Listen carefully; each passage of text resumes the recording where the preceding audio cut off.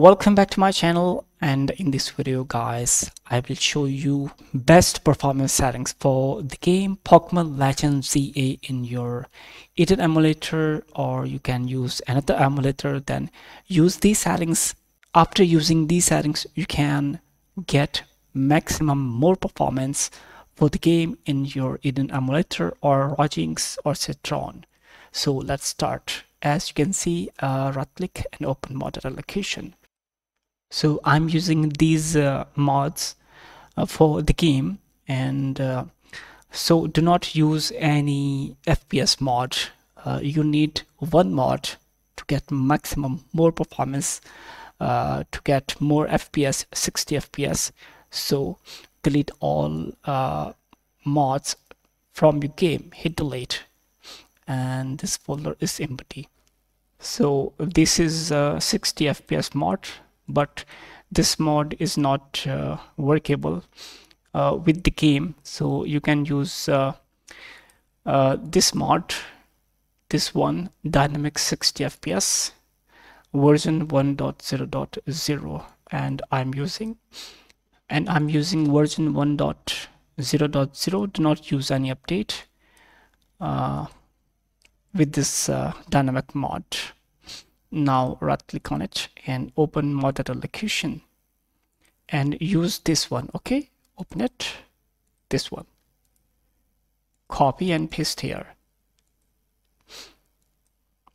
So you can search for these mods and right click on the game and go to game configure and check this option here dynamic 60 fps mod. Now play the game and uh, before playing the game you can uh, delete all pipeline caches because my game is not working again and again remove cache storage or restart it if you are facing black screen. So you can try again and again remove install update. And okay. Because I'm facing black screen after launching. So in this case you can restart the emulator and delete uh, share cache and storage cache. Okay? So you can see I'm stuck here uh, not responding. So I need to restart it. I don't know why this game is uh, working like that. Right click remove all pipeline caches again and remove uh, cache storage and try again. I'm stuck here second time with the FPS so I restart. Remove all pipeline caches again. Remove storage. And restart.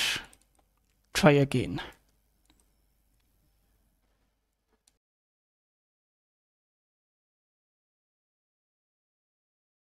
Now go to emulation configure current game and go to CPU and check this option.